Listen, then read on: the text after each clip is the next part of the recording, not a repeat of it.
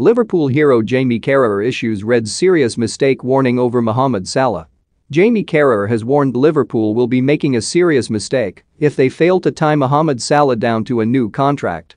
Salah's current deal with Jurgen Klopp's side expires in 2023, but talks between the Premier League giants and the players' representatives appear to have reached an impasse. Salah has started the season with a bang with his double against Porto in the Champions League this week taking his tally to 8 goals in as many games this term. He has scored 40-plus goals in each of his four campaigns with Liverpool, helping Klopp's side to European and Premier League glory and smashing a host of records in the process. His blistering form has led to much talk over his future, with speculation linking him to interest from Real Madrid and Barcelona throughout last season. Carragher says only Manchester United, Manchester City and Paris Saint-Germain could afford Salah, but warned Liverpool must pull out all the stops to convince him to commit to a new deal amid the worrying possibility he could leave on a free transfer at the end of next season.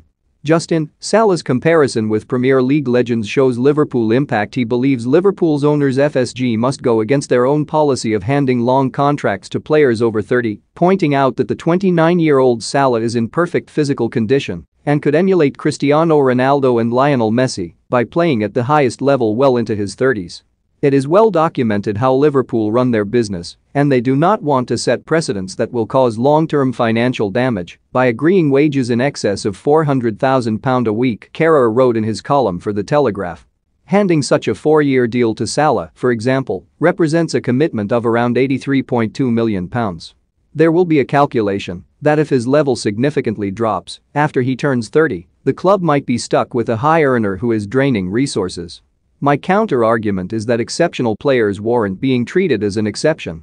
Don't miss Liverpool plotting Bayer Leverkusen transfer raid for Moussa Diaby Jurgen Klopp on Barcelona's wish list amid Ronald Koeman uncertain to Liverpool icon Pepe Reina explains bold claim about Man United winner everything about Salah, suggests that unless he suffers serious injury he is in such perfect physical shape and such a professional on and off the pitch, he will still be producing until he is 33 and probably for a couple of years beyond that. Cristiano Ronaldo and Lionel Messi are an inspiration to their peers, showing how the early 30s are no barrier to enduring excellence. Carragher says James Milner is also still performing at the highest level with the midfielder about to turn 36, predicting Salah will do the same.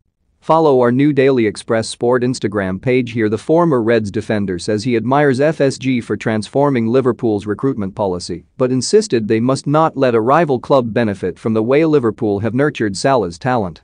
And he believes, if Salah can be convinced to stay for another four years, he will come close to matching the club's highest scorers Ian Rush, who netted 346 times, and 285 goal Roger Hunt, who sadly passed away this week. If anyone assembles an all-time greatest Liverpool's eye, Salah's name must now be in it, Carragher wrote. Should he stay for another four